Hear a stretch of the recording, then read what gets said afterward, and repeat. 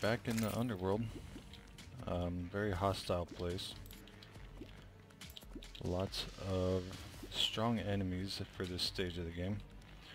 Um, the underworld is of course at the bottom of the world. Huge pools of lava plus these tall ominous towers that kind of go down into the dirt a ways. Or yeah, down into the ash and lava. Um, so we're looking out for a few things down here. Um, we're looking for shadow chests, which we can open with the shadow key that we got in the dungeon. Uh, that's why we needed to go to the dungeon before coming here. Um, there's a lot of cool furniture you can get down here. Um, another important thing we want to get while we're here is at least one of these furnace looking things. This is a Hell Forge. It is an upgrade to our regular furnace. And anything we can make out of furnace can be made out of Hellforge, so we can just throw that in the trash. Um, the Hell Forge has to be used to turn this, um, uh, what's called, Hellstone into the uh, metal bars that you make from Hellstone. So that's why that part is so important. Uh, we're not going to be mining the Hellstone just yet. Um, we want to kind of explore the underworld, open up any shadow chests we find, and then we'll come back and do our mining. Um, another very important thing you need to know about the underworld, uh, you see this demon here. There are two monsters that look like this. One is this regular demon. The other one has a little voodoo doll hanging from his talons. If that voodoo doll lands in the lava, it will summon the boss to the underworld. So if you see one of those demons carrying around what looks like a little doll or something, you want to make sure you kill them in a place where you can catch that voodoo doll and make sure it doesn't land in the lava.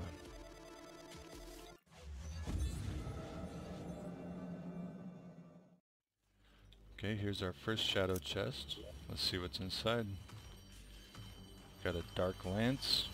This is a little bit stronger than our beekeeper. We got some meteorite bars. Silver bullets are pretty good for guns. So pretty good chest down here. My inventory is already full. I have to take care of that real quick.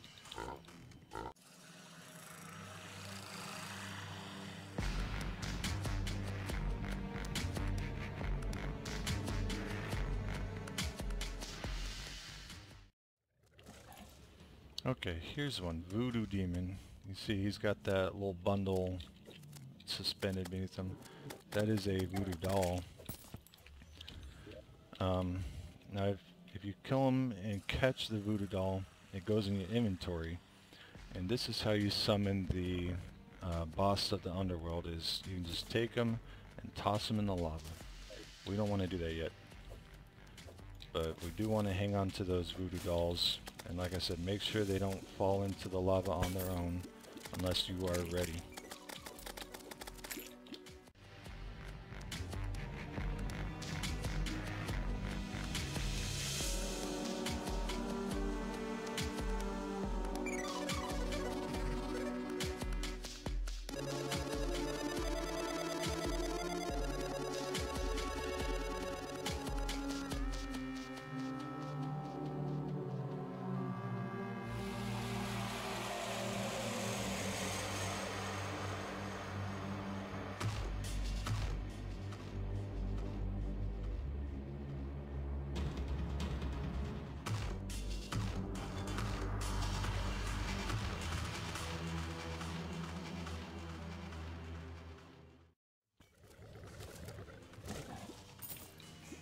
Ah yeah, Demon Scythe. This is one of my favorite spells in the game. Um, it is very powerful for this stage. It, it has kind of a, a funny attack pattern. Uh, once you cast it, it slowly accelerates away from you, but it can hit multiple times um, as it's accelerating since it's moving so slow. Um, so it is it is very very good weapon for for the immediate future.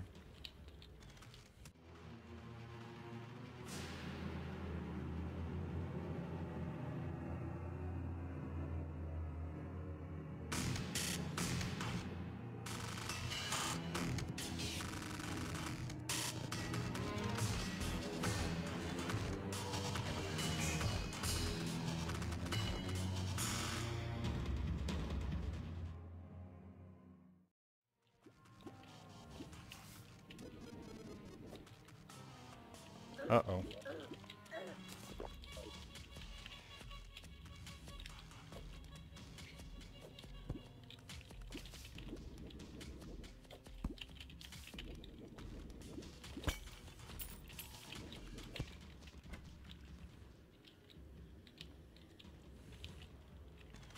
Well, I fell in that pit of lava. I wasn't going to be able to get out, so I took an obsidian skin potion that I found. Since I have it on, I'm also going to drink a gills potion so I can breathe under the lava. And go ahead and do a little bit of mining so I don't waste that potion. I can basically stay under the water until those potions run out. Once gills runs out, I'll need to take another one so I can breathe. Uh, once obsidian skin runs out, I need to get out of the lava fast.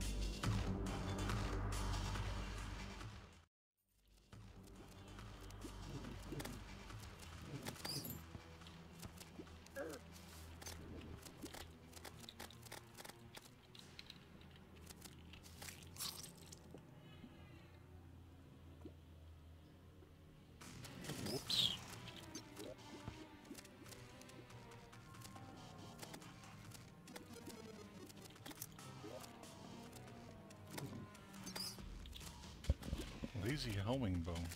When arrows turn into flaming bats. That's pretty cool.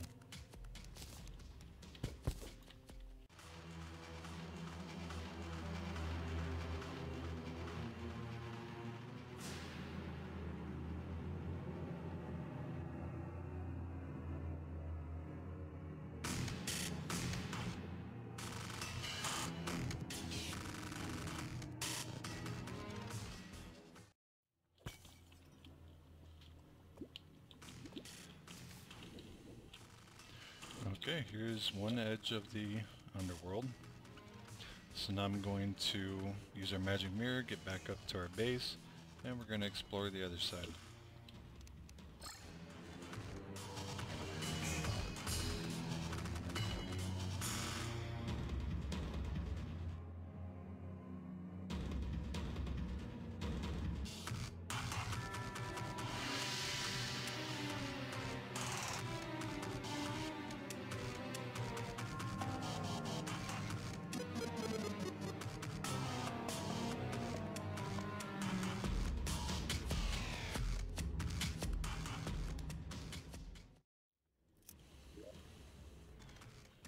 Flower of Fire, that's a good one. Um, not the most useful, but it is a lot of fun.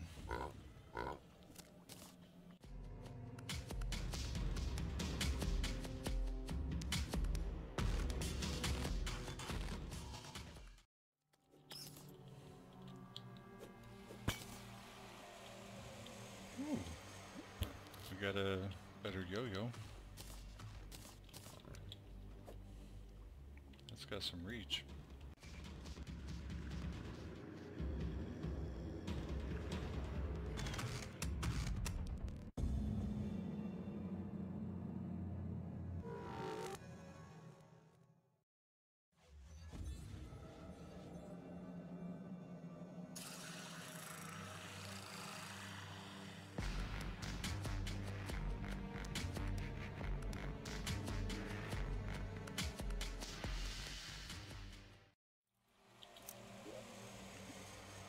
Flame Lash. That's a good find.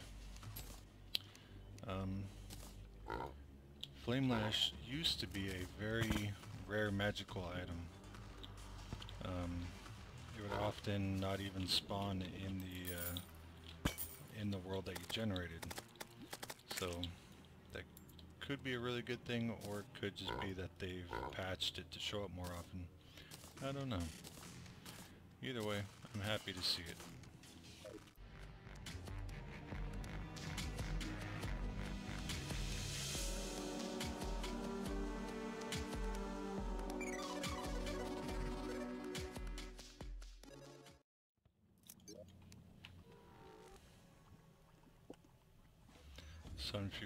That's a direct upgrade to the flail category.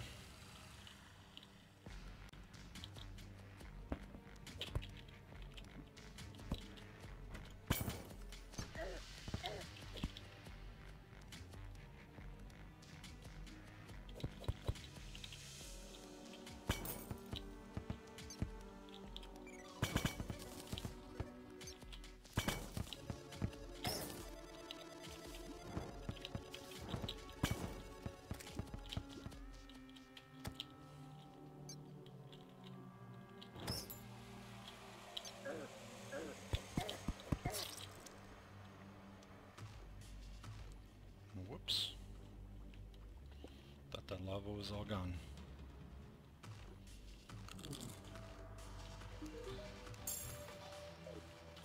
Anywho, so the Flower of Fire just throws a fireball that bounces along. It reminds a lot of people of Super Mario Brothers. Um, so that's why people like it. The other one, Flame Lash, it's a direct upgrade from the Magic Missile. Um, basically, as long as you hold down the mouse button, the projectile will follow your mouse wherever it goes. Um, makes it makes it handy for hitting things way on the other side of large bits of cover. It will disappear if it hits anything though. Also, when you let go of the mouse button, it'll continue whatever direction was moving last. Um, shot for shot, it does a lot of damage too, so it, it can be a good thing just to just to cast directly at stuff.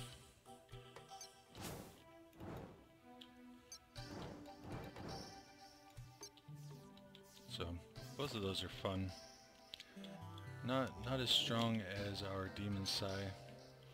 Um, this one claims to do less damage than the other two, but this one can possibly hit the target so many more times that it out damages it easily.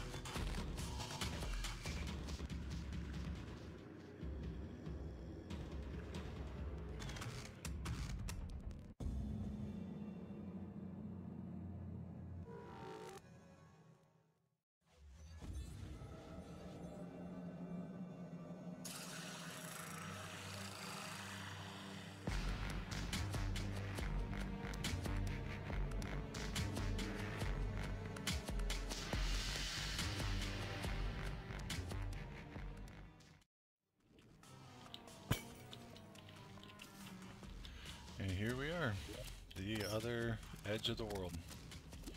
So we now have the entire underworld mapped out. So we're going to warp back to base, do some inventory management, and uh, prepare to fight the um, boss of the underworld. So we'll probably call it an episode there. If you enjoyed, hit that like button, subscribe to see what I do next time, and thanks for watching.